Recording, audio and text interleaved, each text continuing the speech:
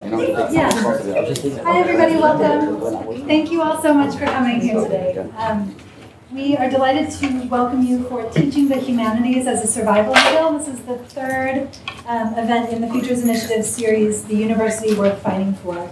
Um, in case there are people here who aren't familiar with the Futures Initiative yet, we are a program in our second year here at the Graduate Center. Um, our aim is to advance equity and innovation in higher education through student-centered teaching and learning and also to promote reinvestment in higher education as a public good.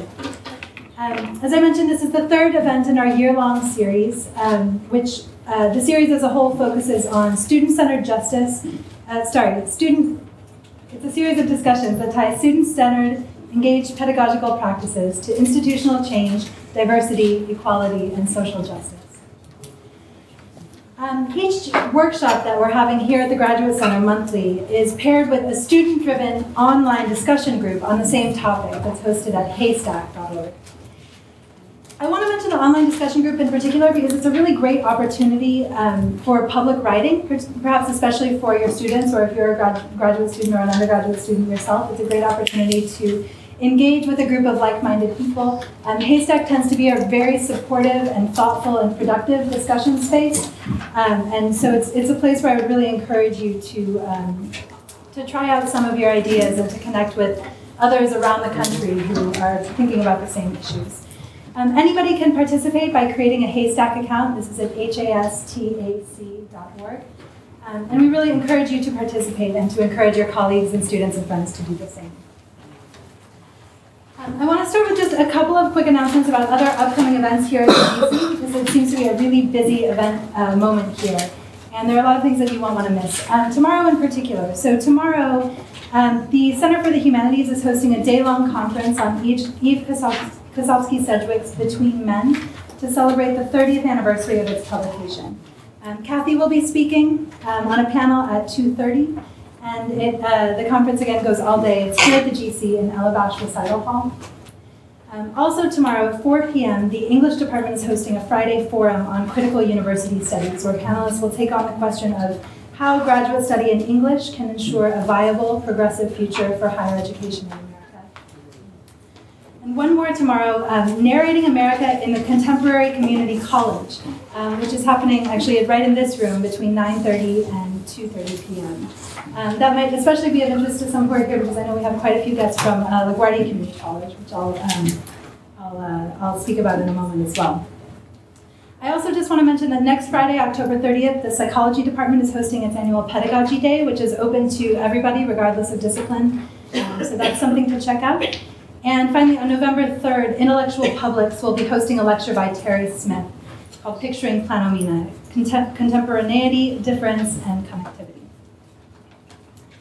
Now, to turn to today's discussion, um, we will be talking about the value of humanities education for all students, not just humanities majors, not just graduate students, and not just students at four-year colleges. Um, it's in the context of that that we are especially excited to announce a major Mellon grant that we have uh, just been awarded in conjunction with the Teaching and Learning Center here at the Graduate Center and LaGuardia Community College. Um, the project will be called the Humanities Teaching and Learning Alliance, and it's um, an incredibly generous gift of $3.1 million funded by the Mellon Foundation to help train Graduate Center PhD students who are interested in teaching in the expansive human humanities, arts, and interpretive social sciences um, at community colleges. Our HASTAC team at the Graduate Center is so proud to be partnering with LaGuardia Community College in this endeavor, and we're really delighted to have uh, guests from LaGuardia here today. So we do want to take a moment to thank the Mellon Foundation as well as um, our partners and those who have made the grant possible, some of whom are in this room. Uh, let's see, David Olan, is David here at the Provost office? Um, David is Professor of Music and Interim Associate Provost uh, and Dean of Academic Affairs here. Luke Waltzer, the Director of the new Teaching and Learning Center here at the Graduate Center. Um, Helen Coe, I'm not sure if Helen is here. Helen, hello. Um, Helen's the Director of Institutional Giving here at the GC, and the grant would not have been possible without her work. Um, two of our LaGuardia colleagues are not here today, Brett Eynon, the Associate Dean for Academic Affairs, and Howard Wach, the Assistant Dean of, Affair, of Academic Affairs and the Director of LaGuardia Center for Teaching and Learning. Um, they are primary partners on the grant. Um, since they couldn't be here, we do want to take a moment to recognize some special guests from LaGuardia who are joining us today. Um, our speakers, who I'll introduce in just a moment, uh, but also Dimitri Kap um, Dalia El Said, and Jade Davis. We're really delighted to have their perspectives on the discussion today. Um, and finally, one last celebratory announcement. Uh, we also have with us the geography professor, Ruthie Wilson Gilmore, and we are just thrilled to announce that she's been awarded the first Eugene Grant Distinguished Scholar.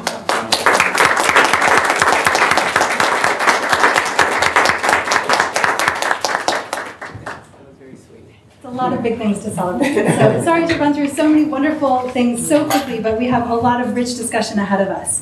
Um, so with that, I want to turn it over to our speakers. Um, convening the discussion today will be Cathy Davidson, the Director of the Futures Initiative and Co-Director of um, the uh, Humanities Teaching and Learning Alliance. Mike Rifino is a doctoral student and one of our graduate fellows with the Futures Initiative. Um, he's in the Human Development Program, and he's a, a graduate of LaGuardia Community College. Eduardo Vianna, who is a professor of psychology at LaGuardia Community College and one of our faculty fellows with the Futures Initiative. Um, he'll be co-teaching a course in the spring with us. Um, and Vanessa Bing, who's also a professor of psychology at LaGuardia Community College, who is joining us for the day. So thank you all so much for being here. We look forward to the discussion.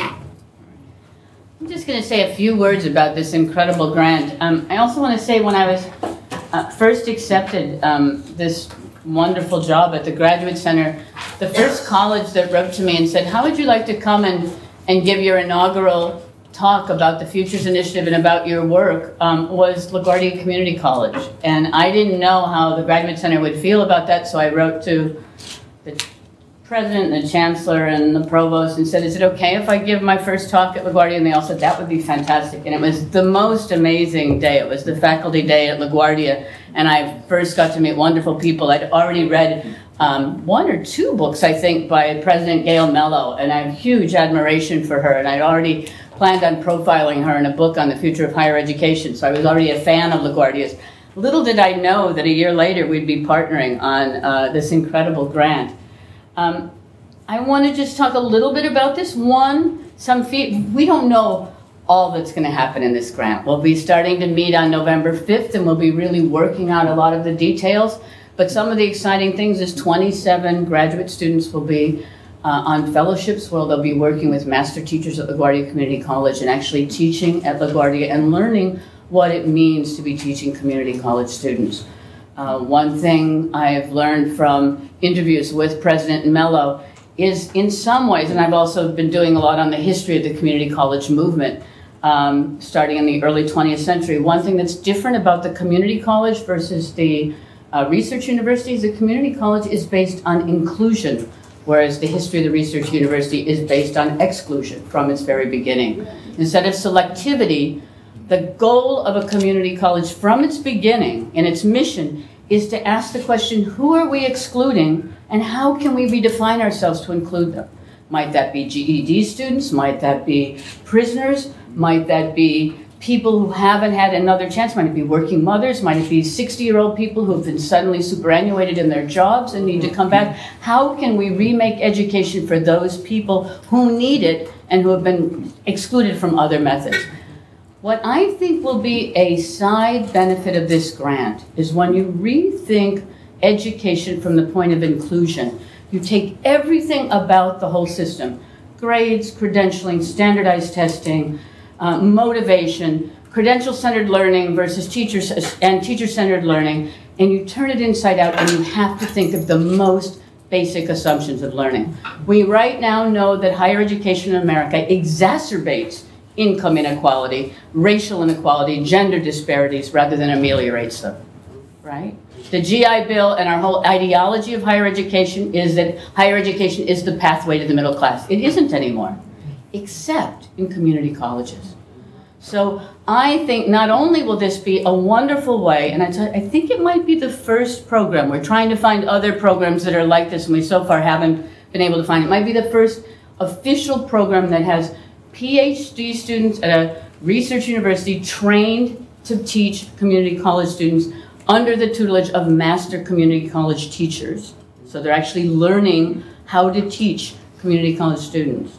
So I think we're going to, one, train some excellent community college teachers. Two, that will be a great way of also working to ensure um, continuing excellence of uh, the education of community college students. I also think what those graduate students have to give back to the Graduate Center in terms of helping us all as graduate professors who often do not teach um, the, the, uh, an inclusive population of students is going to be vastly um, interesting and important and profound in terms of thinking through our own assumptions um, as teachers of graduate programs. I think we all will learn from what we all learn, in other words, on every level, undergraduates, graduate students, and professors. This is really going to be an important program.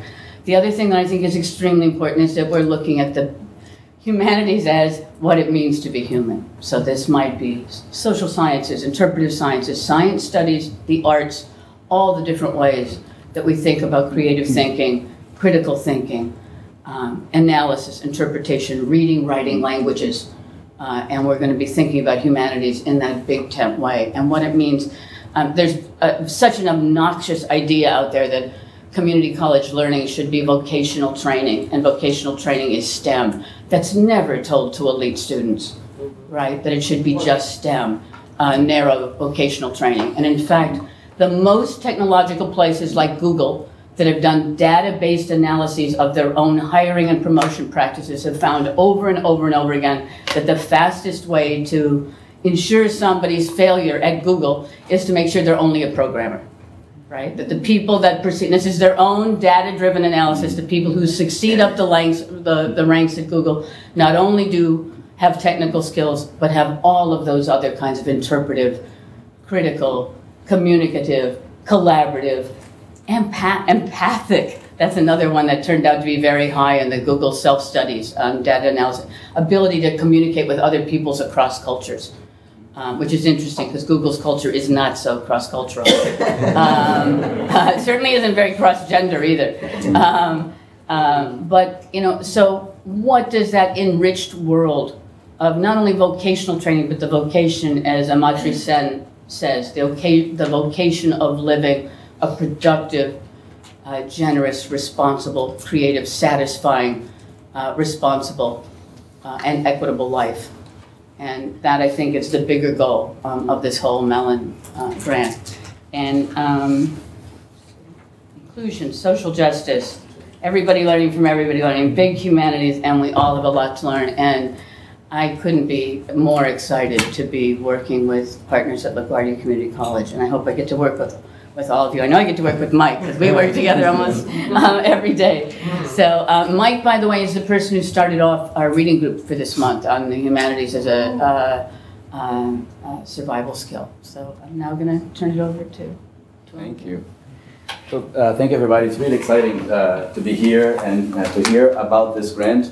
So we'll talk a little bit about so we want to have like a rich discussion. So we're just going to make you know some points uh, to uh, to help frame the discussion. Talk about some of the practical work that we're also doing at, at LaGuardia. So uh, um, Mike was my student at LaGuardia about like five years ago, and uh, it's such a pleasure that he now is here at the Graduate Center studying with Anna uh, Stetsenko, who used to be my advisor many years ago. And uh, so I think that, not, not so many years ago. but I think so much in the spirit of what, you know, what this grant is about. And I think it's, it's really, I, I love what Cathy was saying because like, I never taught a student at a community college uh, in whom I, I, I, did not see a vast uh, potential, yes. right? And I think it's really, it, it, it, really breaks my heart, you know, this vocational, narrow, right, view that we're there just to train them uh, for jobs. So, uh, so we, we're gonna have a discussion about like how teaching uh, the humanities broadly defined to include the social sciences right, can be a tool to promote diversity and equity in uh, in a community college. So just to give you some you know, context here, right? So the, the landscape in higher education is uh, changing. There's like a broad reform movement, right? In, in response to sweeping social changes impacting post-secondary education, you know, the, uh, including the dramatic uh, diversification of the student population, uncertainty of the job market. So higher education research is saying, well, we need to prepare students uh, for an increasingly interconnected global economy and society, and we need to expand in, uh, our understanding of learning right? to be transformative and, and uh, based on engagement and bridging learning and identity uh, development. So these are uh, just some quotes from very uh, well-known scholars in higher education, and this from a report that I think everybody in the world has read called Learning Redefined. It says that learning must be included in a much larger context that requires considerations of what students know, who they are, what their values and behavior patterns are, and how they see themselves contributing to and, uh, and participating in the world in which they live. You know, now, uh, I also want to, you know, uh, to frame uh, our conversation in terms of uh, new, new approaches in, uh, in education and, and development, you know, including critical and dialogical pedagogy, uh, sociocultural psychology, and especially the, uh, the transformative activist stance, the approach that uh, Anna, you know, has been uh, developing. I'm working within that perspective, which builds on Vygotsky, Freire, and Bakhtin, right? And I guess the central tenet uh, regarding learning is that learning becomes personally transformative by providing tools for identity development and opening up new horizons for personal and social growth. So especially for this knowledge uh, right, that we construct in the humanities and the social sciences, they are you know wonderful tools to help students develop a compass about their current location and the ongoing flow of transformative collaborative practices, in which they're provided the tools to critically examine their history, present, and where they're going and ought to be next. Right? And that. Uh, so with that knowledge, students can facilitate students taking an activist stance towards creating their futures in a society that itself needs to be created that, rather than merely uh, reproduced and um, um, adapted to. Okay? So, um, so we all know that the humanities and the social science foster cultural understanding, historical perspective, critical thinking, ethical engagement, creativity, right? uh, good writing, and aesthetic uh, appreciation. And so, so that really uh, can help uh, open up different sociocultural horizons to students, and it promotes an awareness of diversity, and it can be a powerful tool to challenge uh, ethnocentrism, right, to problematize and challenge uh, adapting to this uh, status quo, and it calls for developing a vision about what kind of society we want uh, to help to create. So the point is that we really need to, right, to give the tools for students right, to, uh, to engage broadly with the world and not learn in, uh, in a very narrow sense. So I'm going to turn now to, to Vanessa, and she's going to talk about this amazing project that she does in her urban uh, black psychology. And then we're going to hear uh, from Mike and how uh, he uh, got to be involved right, um, in our programs. Yeah. So thank you, Eduardo. So, you know, I'm a psychology professor who believes in the practice of liberatory pedagogy, um, where education is the practice of freedom. And my work is largely informed by the, the work of feminist scholar Bell Hooks, who was also influenced greatly by Freire um, and as well as Thich Nhat Hanh, a Vietnamese Buddhist uh, monk. And for me, from day one, it is critical to, to give my students uh, their voice, to allow my students to have their voice in the classroom.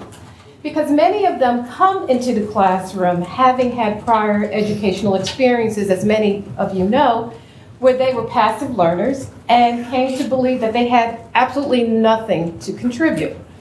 So I tried to flip that around from day one. And then, of course, there were other students who became reticent and unwilling to speak because they were led to believe that they spoke too, too, with too much of an accent or they spoke with non-standard English that was not acceptable in the classroom and they might be laughed at and so they, you know, that keeps them from becoming engaged in the classroom.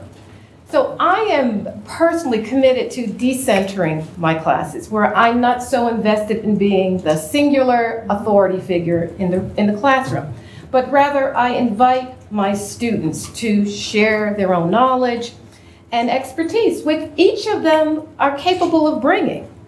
So while it's certainly my job to introduce new theories, ideas for students to consider, it's even more important to help them see the connections to their prior or existing knowledge and what I'm presenting in this classroom. So Bell Hooks, you know, she encourages us scholars to, and I quote, transgress those boundaries that would confine each pupil to a rote assembly line approach to learning. And that's with the goal that we may respect and engage our unique beings in the classroom, the unique beings of our student and our unique beings. So she recommends that one way we do this is engaging in dialogue.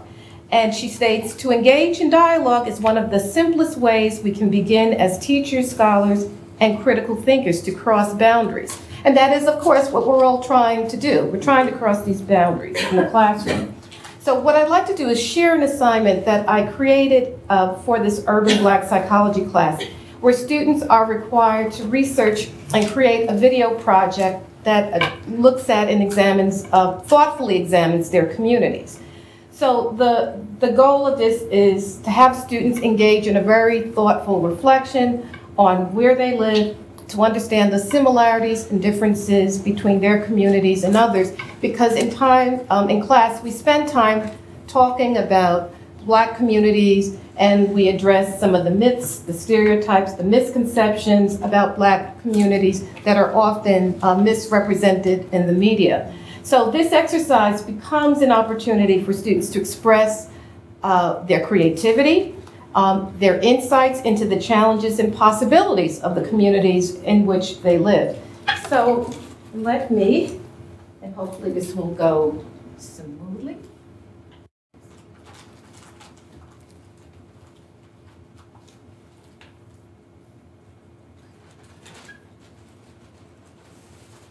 So for this particular assignment, I do give my students free rein. You know, they are given instructions, they are, they do a little research on their communities before they get to the video portion of it, where they may look at census data, find out what the population of their, who lives in their neighborhood, what different uh, racial ethnic groups. So they're doing some work and really critically looking at what are the elements of my community. And then they're asked to create a video project where they're presenting to their, uh, their classmates. And I don't give them any restrictions on how they should present that video. So some students choose to narrate the video, some choo- students choose to incorporate um, music and no narration, some combine the two. So this first uh, if we have time, I'll show you a little bit of a second example, but this first example is one student's presentation. It is without narration, it's completely music, and it's, um, she's looking at the neighborhood of Corona, Queens.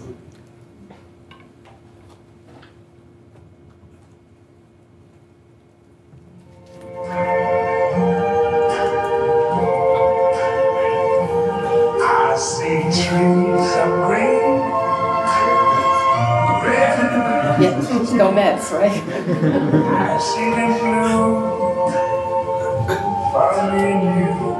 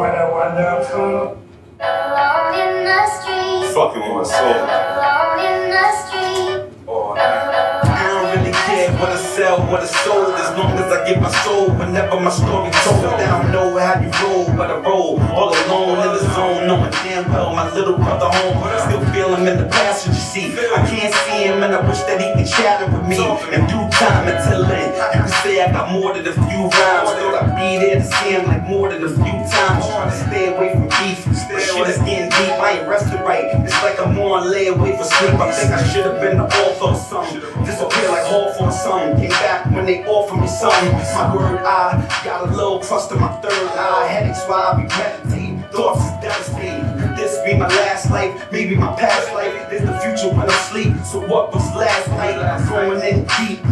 And you know it goes. So clearly she's using this video, among other things, to contrast, you know, the difference in her community. Um, and obviously, she chooses to make use of the, the gritty sounds of rap music to convey a particular energy and sense and feel of her community. Um, and again, you know, this is, I, I don't put any restrictions on their, you know, what they can use, what, what they should say, because I want their voice to come through. Here. um, Um, and just show a quick minute of another student's video who chooses to narrate. Uh, one of the things I like about her video, and I don't know that we'll get to it, is she chooses to interview um, community residents.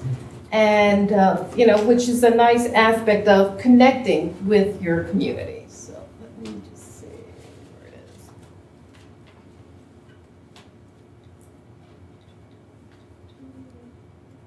Apologies.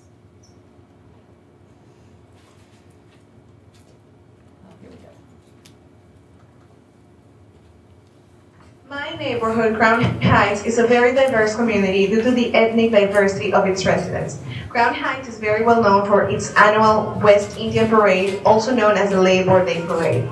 It is a very colorful event that indicates a big presence of Caribbean people in the area. Also, there is a big presence of Hasidic Jewish residents. This is Nostrand in President Street. You can see, it's a very busy area. Uh, a lot of people, yes. And most of the businesses are here in Nostrand.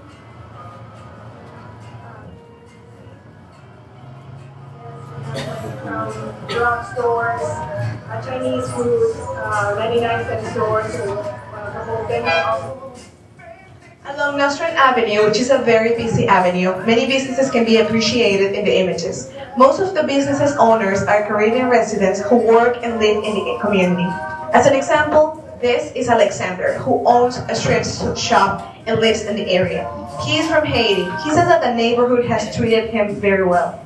So, there you get a chance to see. We're not, obviously, in the interest of time, I'm not going to show you the interview. But it's, you know, certainly it adds a, a nice touch and a way of her presenting her community. And, you know, this activity, for me anyway, conveys the importance of constructing assignments that engages the whole student, where they can enter with a sense of mastery or expertise, if you will, and it, this gives them a sense of agency, um, ownership of the assignment. I get 100% compliance, everyone does it, and they appreciate being able to bring their self into it. So it's important that we impart the message that they come in, they all come in with something, they have something to contribute, and it's our job to help, you know, learn to express and refine their ideas. And I think through such an, an assignment as this, our students are able to do just that, and they truly bring their whole person to, into the classroom.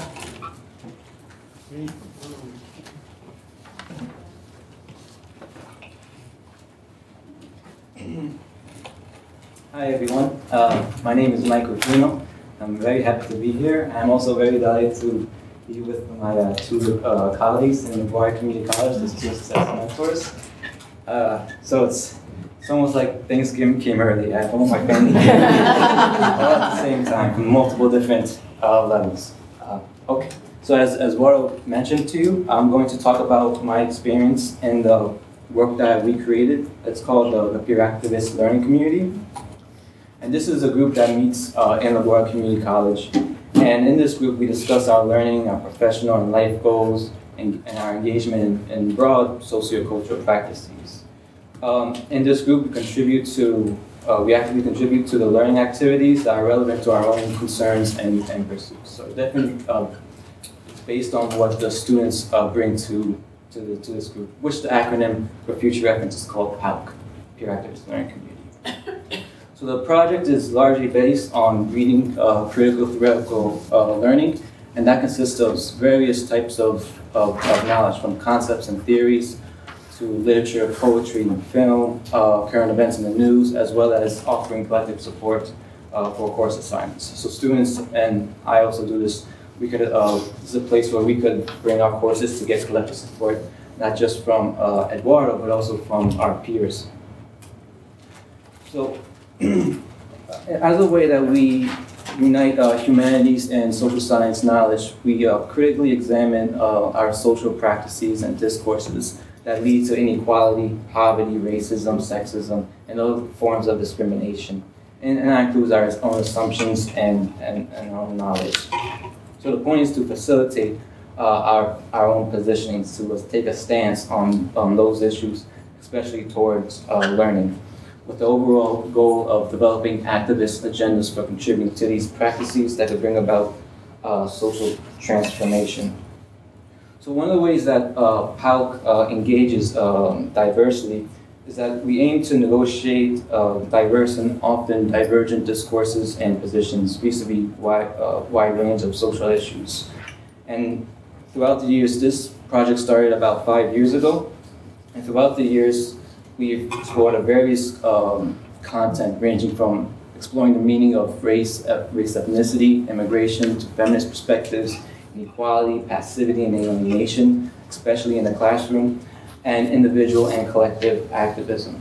So all in all, we're um, growing a, a, sense of awareness of ourselves as social, cultural, and historical agents who contribute to these social practices. Um, me, my, me personally, um, this project was personally transformative for me, and I have here um, some posts I like to hi highlight of when I um, had a newfound learning identity. So based on what we were learning, in this sense, the learning sociocultural psychology together with critical pedagogy and other social, uh, critical social science theories allowed me to connect those concepts to events in the world, to social practices, uh, and to my life.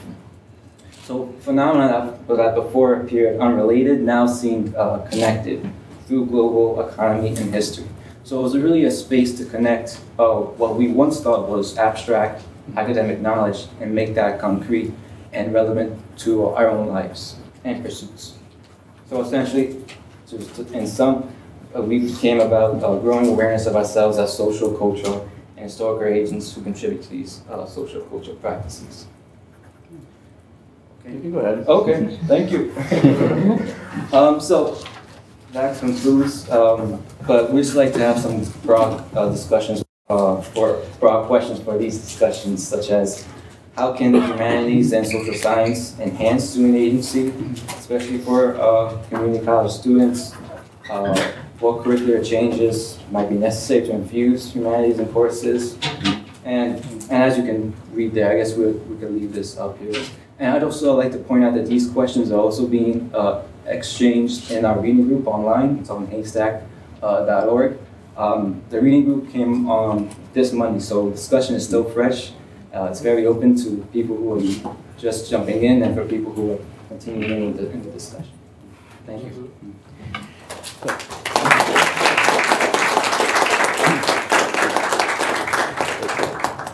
About half an hour for conver conversation and questions, and um, I just want to make one comment.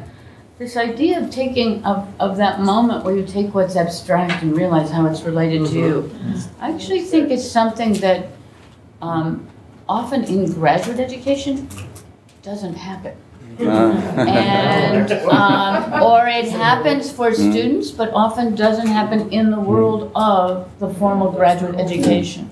And I think one of the things that we're hoping with this mm-hmm. program is to mm-hmm. make that passionately the case mm-hmm. for graduate students, but also for graduate professors to realize how, um, you know, if you're only teaching, if you're a graduate professor only teaching with the implicit or explicit idea that you're only training people to teach future graduate professors at research universities who will teach graduate professors at research universities. You don't have to do a lot of introspection about what your purposes are. But when you have to think about what this connects to everyday life, and even, I mean, we use the word survival, but I think in some ways it is survival. Um, that makes you think really deeply about what counts in my discipline, what counts in my education, what counts, what is really, really mm-hmm. important about this. Mm-hmm. And even as you're doing the most specialized work, I don't think it ever hurts to make that kind of mm-hmm. um, contact mm-hmm. with those foundational principles. I mean, I think that's what keeps you from being uncynical and keeps you open to change and social justice for the rest of your career and not one of those people who simply wants to perpetuate your own turf, disciplinary turf for the rest of your career. Maybe I'm being naive here, but it, the people I know who keep their their own disciplinary and uh, intellectual excitement burning do so because they know it has power and impact in the world, in their own lives and in a, in a larger world. So I think what you said about your own life mm-hmm. is also true in terms of mm-hmm. the structure of, of mm-hmm. education on every level, from the community college student. Um, and I agree so much with you and what you said, that when you look at your students, you're Right. seeing these students who, Yeah. I, I, sa- I mentioned the other day that, is it called a scout in athletics? Where there's like baseball scouts that go to the Mhm. Dominican Republic, or Mhm. when I used to hang out a lot in, in rural Alberta, there'd always be hockey scouts coming to rural Alberta looking for people that might be great hockey players. And there'd be somebody who would find that person who had a spark. They weren't necessarily perfectly trained, but they'd have the spark that they knew could go on to something else. There's something about finding students who have that spark and being that professor who can take that spark and help it to become something else that can help give it the support to actually become turn into something Mm. which at elite universities Mm. is a given Right. and it's often not the case for student the kind of student who finds their way to a, to a community college. Uh, it's often even not even assumed that anyone will ever be scouting them. And uh, you know that seems to me so crucially important for, for what we all do. And yet, there's a lot of work to be done, which you know we're doing in this grant is going to be a big step forward in uh, transforming the, the structures in, in higher education, especially in, in community colleges. And uh, I just want to mention that. Uh, this work was uh, featured in, in the New York Times uh, last year, and it talks about you know Mike's transformation in this project, and you know, so uh, the idea that I had when I started uh, working at LaGuardia is that yeah, I'm a developmental psychologist, and I, I could see that potential, but there's so little I could do in the classroom, just you know, contained in the courses. And one of the things that the, the, the New York Times reporter wrote, which was in, very interesting, is that the, the thing about community college, surprisingly, is that the lack of a community. Right? So the work was really to create a community, and there's a lot of work now in terms of co-curriculars, right? Like uh, crossing the boundaries. The learning doesn't take place just in, in the classroom, but also change the you know the curriculum so that it, it addresses right uh, these issues. And I, and I, so that was really the, the motivation for this, like you know, because uh, the structures are so fragmented. Still, like you know, it, we uh, faculty and academic affairs, we, we deal with the learning, and then when students have their life issues, you know, then you refer them to student services, and then they then the learning, you know, is never addressed. Mm-hmm. You know, so students, they, you know, I have so many students who have like layers of, of diagnosis and, and taking, you know, medication, and they're anxious and they, they're taking pills, but that, you know, the source of the anxiety doesn't go away because you have to learn. You have to, you know, to pass the classes. That's the usually the, you know, the big source of, you know, of that anxiety. Now, eh? and so that's what we, you know, we try to do: create a community where the students could come, talk about their, their issues, and, and connect that uh, with the with the learning. And uh, you know, and also at LaGuardia, and you know, some folks here that you know we we have a new first year uh, seminar that's trying to move you know in that direction. So it's giving us more room you know in, in our curriculums to uh, to build this kind of uh, pedagogical uh, practice. So yeah, we need to make more connections. And I think what also helps us is that we off, we, many of us take advantage of some of the faculty development seminars. We have a wonderful gender and diversity um, seminar that speaks to some of these uh, pedagogical practices and helps us to really reflect on what it is we're doing in the classroom. Um, you know, are we using ourselves in the classroom? Are we being standoffish in the classroom? Yeah. How can we, you know, create a real community in the classroom? And um, one of the LaGuardia guests, Dahlia, she's uh, one of the uh, co-leaders of this wonderful gender diversity seminar. It's- I mean, one of the things, especially at an event like today, one of the things is the time to really um, connect with other teachers about teaching Yeah. and, and, and that dynamic thing that we do in the classroom that changes every year as our population changes and how we then uh, respond. but it's also to make, bring that sort of same reflection to the students, where the humanities is about reflection, right?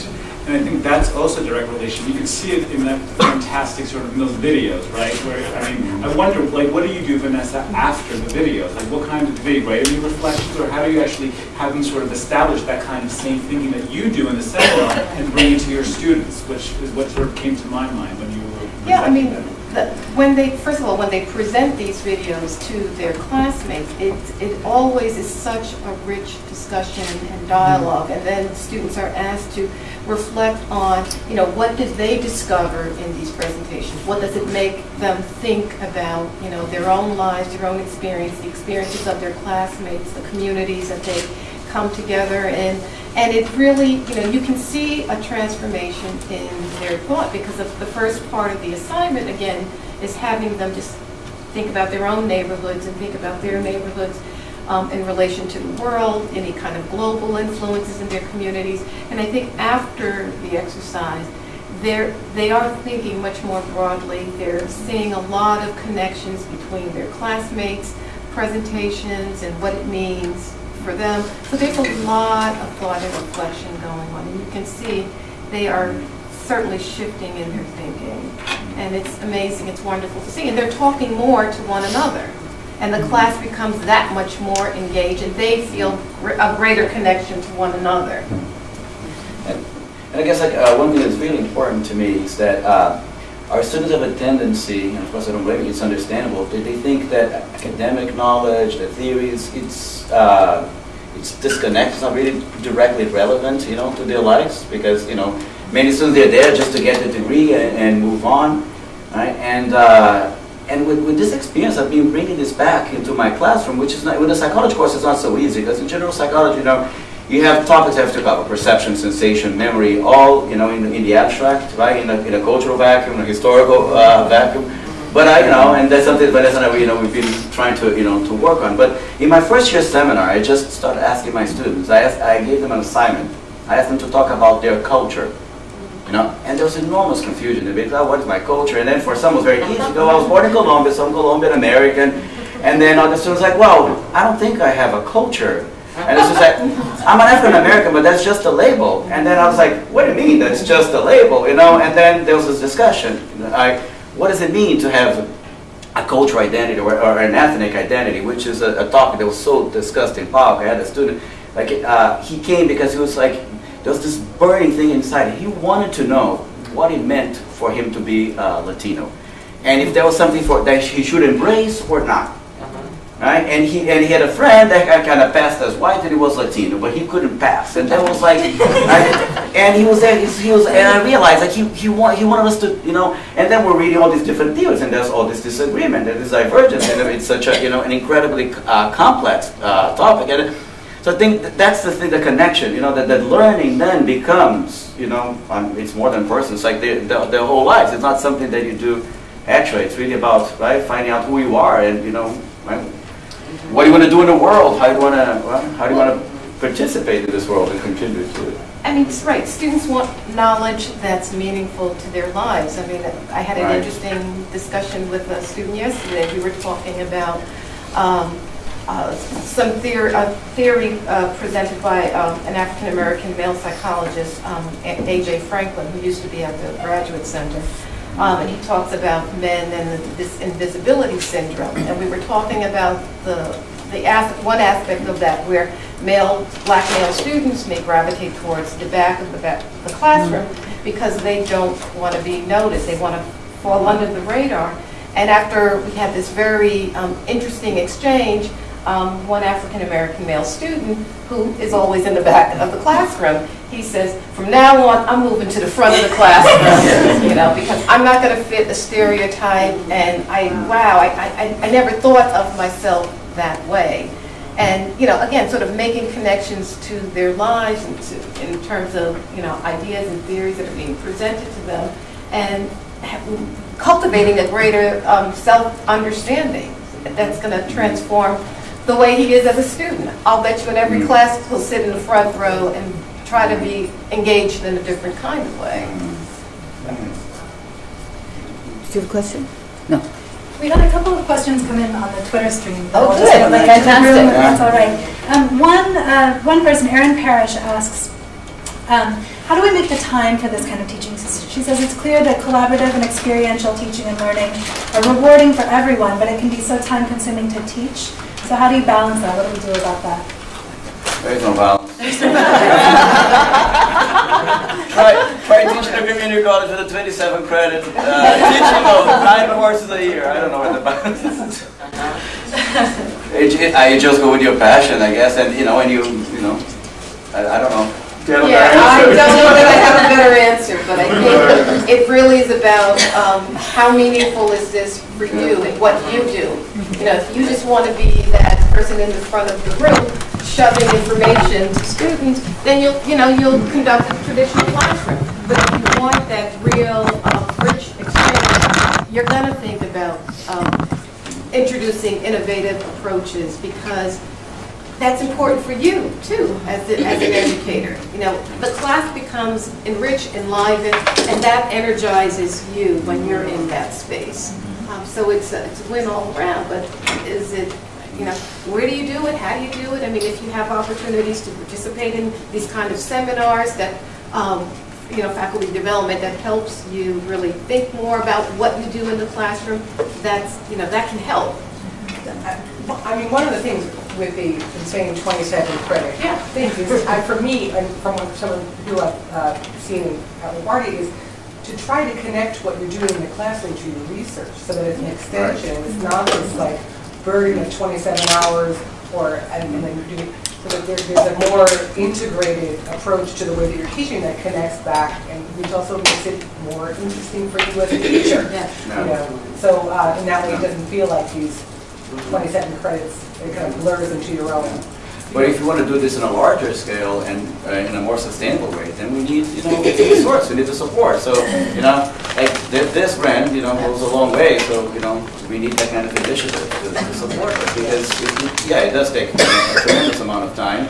And, and I was just telling you, know, we were just talking before at lunch. I feel like for, you know, uh, to teach well th- these classes where they're both conceptually rich and they, you know, also engage the students. I feel like I, I'm writing a paper for, every class uh, uh, that I teach. And it reminds me, like Anna likes to quote Kurt Lewin saying that there's nothing more practical than a good theory. And I think that that's where our students begin to learn.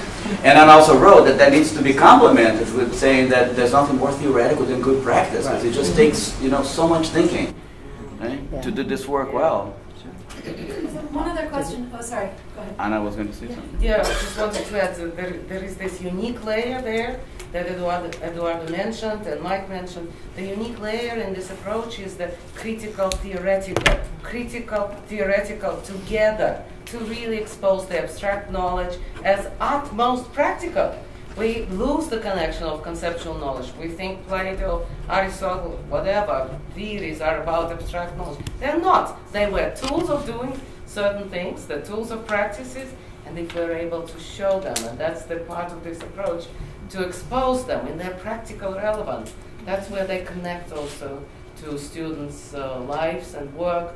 So it's about really overcoming the theory practice disconnect, which can be done. It's difficult, but it's being done right there.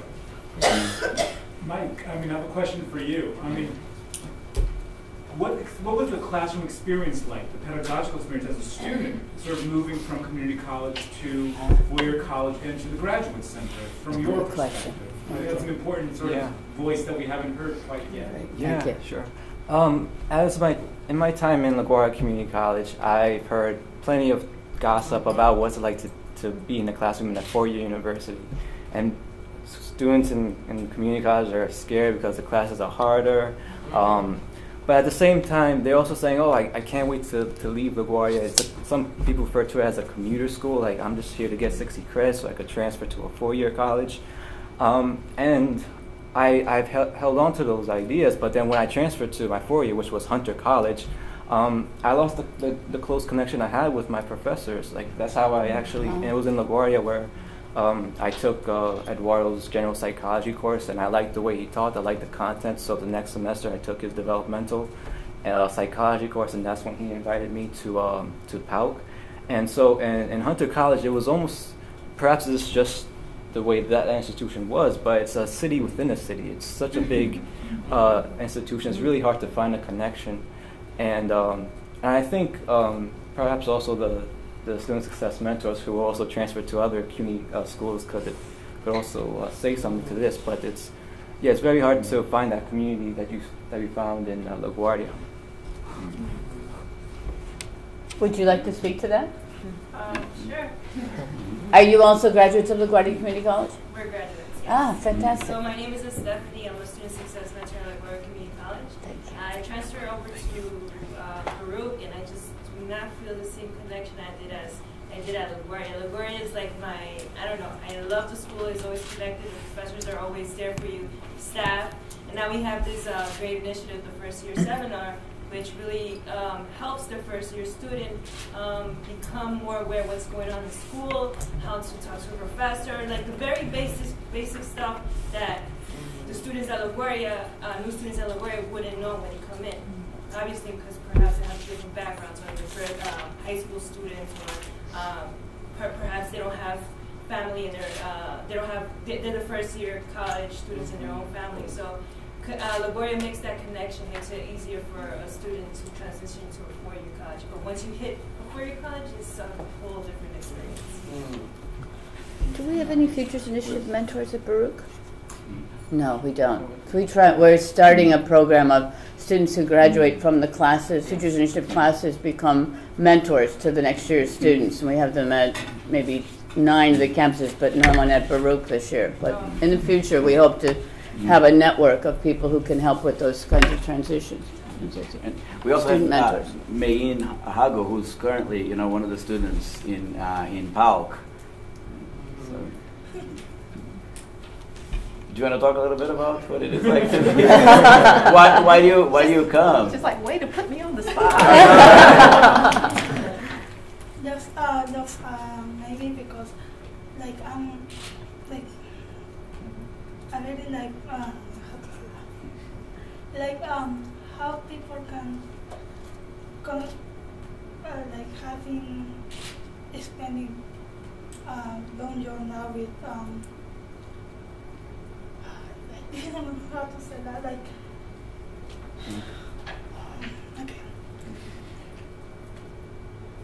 like how how how how people like with um with uh, learning disabilities they can overcome this up, um up, um the, the learning process to get um successful in four year col- college. Uh, it has it is having like um, a kind of impediment like taking medicine and everything and then to overcome the to get the knowledge um, so it's, it's kind of difficult but um, maybe with some positive feedback it can help to those people Are you in your second year? I just graduated from LaGuardia Community College Ah. and then I had to go to my um, Brooklyn College Ah. to, to do the Wow. fourth college. Fantastic. Thank you. And you're also a LaGuardia Community College graduate? Yes, yes. Um, so my name is Daniel. Um, I graduated from LaGuardia last year, 2014. Um, and I, I took a, a, a very uh, different route, I, I like to say. Um, so I graduated from LaGuardia and I transferred initially to Queens College um, to pursue computer science for a bit. Um, and the, the change, I guess, in the community. Um, so Queens College was a much larger campus, I like to say. But I, I say a different path. Um, I did feel a sense of community Mhm. when I was there. Um, and I'm not sure if this would translate or correlate to other four-year institutions, but for Queens, I did feel a sense of community, at least within my major. Um, and then I really didn't like computer science too much. So I, I, I left to uh, City Tech um, to pursue radiology technology, Oh. X-ray technician. Um, and this is my first semester there, so I don't really feel the community yet. Um, but I'm going to give them some time and, and see what happens. Um, but uh, maybe I've been fortunate and blessed enough to really experience the sense of community at every stage that I've gone through. Um, and it's unfortunate that other students don't feel this. Um, and I think that's that's definitely the problem here. I mean, we know there's so much research on this, the challenges of community for commuter students. You know, at residential colleges, the graduation rate, especially at residential colleges where students don't have to work full time. I mean, a typical CUNY student works more than a full time job. It's about 1.3 full time jobs. And when you're a commuter student on top of that, it's just hard to stay in school, and community is difficult.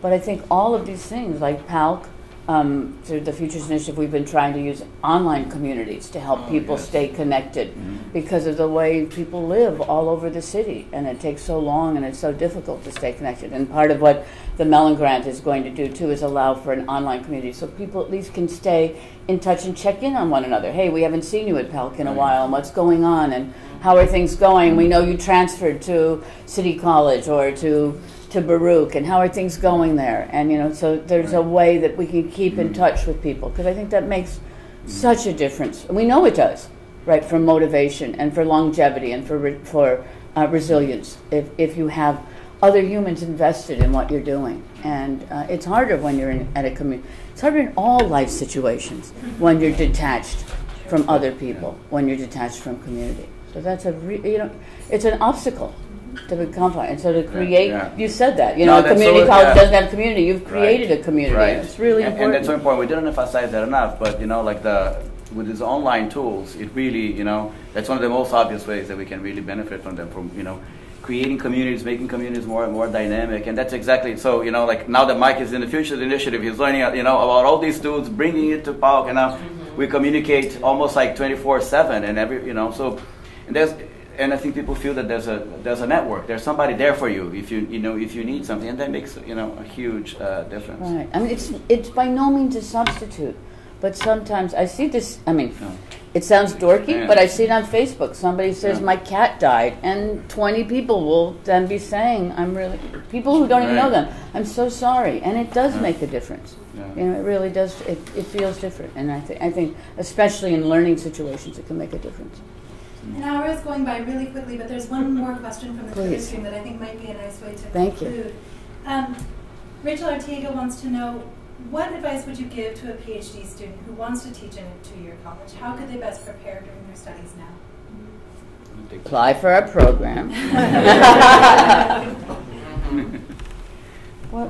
What was? I was, I was asking Mike if you wants to, to take that one up. So, uh, you, as you're preparing, you know, to teach. Oh, okay.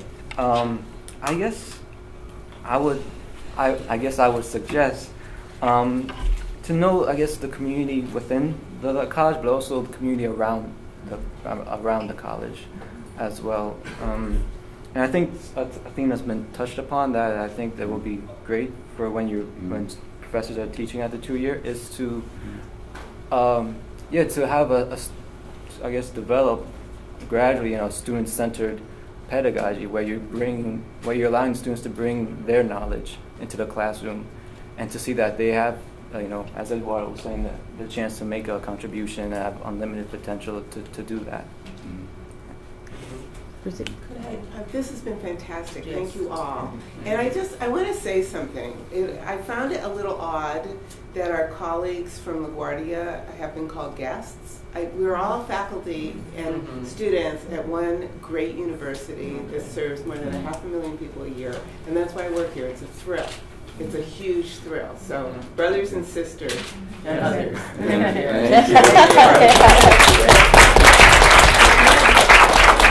One other observation I wanted to make. I'm so excited, especially Eduardo, when you made that, um, you out, you highlighted the unnecessary distinction and then sometimes debilitating distinction between what happens in the classroom and something called student services. Right. With all due respect for everybody who works in student services, it's a really hard job. Yes. But that division has in so many ways taken the place of the actual difficult work of diversity and inclusion in the classroom at all levels. Of Yes. diversity. Absolutely. And so what I see all of us in this project bringing together, not only theory and practice, but service and, and learning, um, and also the, you know, the huge question of what uh, graduate education is for. In the American Studies Association, Cathy was once president, I was once president, we had huge discussions about the fact that many of us train mm-hmm. PhDs mm-hmm. and we get this pressure from upstairs, wherever upstairs is, to send them off into R1 jobs, as Cathy was mm-hmm. saying, and that's an absurdity.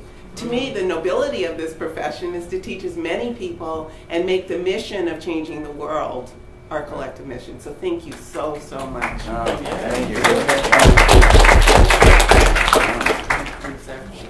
Great, well, I think unfortunately we're out of time, but um, the conversation can continue online. We have been tweeting at the hashtag Fight for EDU. Many of you have been tweeting as well. Mhm. Um, there's a Google Doc where we've recorded notes from today's session, as well as questions that have come in both here um, and online. So um, if you have additional questions or, or comments that occur to you later on, feel free to chime in there. And do check out the online discussion group that Mike has going um, on HASTAC. It's a really terrific way to participate in the conversation. Um, there are a number of great readings that are posted there. Um, people from all different types of institutions um, all, all around the country who are participating in that conversation. Um, so thank you all so much for being here. Our next workshop in the series will take place on November 18th. Um, it'll be focused on career paths and labor practices in the academy, so we hope you'll all join us for that as well. Thank you again to our panelists, and thank you all for being here.